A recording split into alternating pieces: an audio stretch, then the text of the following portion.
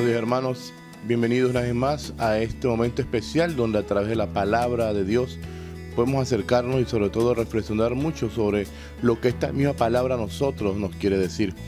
Sobre todo este tema que Lucas 12, versículo 35-38 nos expresa a nosotros, de este es estar siempre preparado. No es un tema nuevo, pero lo escuchamos bien a menudo. La iglesia permanentemente nos recuerda y más aún la palabra de Dios nos lo recuerda y hoy en este texto de Lucas 12 con mayor razón. El estar preparados con las velas encendidas, específicamente como dice el texto, a la espera que llegue el amo que viene de la boda a tocar la puerta y nosotros recibirlos y que nos encuentre en vela. Es fundamental porque en la vida cristiana es lo mismo. La vida cristiana es para estar activo en la fe, en el camino de Dios y sobre todo entrar en sintonía con todo lo que nos ofrece. Pero llega el momento en que estar pendiente, porque el momento menos esperado llegará para pedir cuenta de nuestros actos.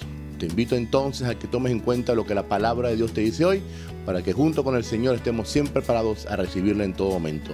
Bendiciones abundantes.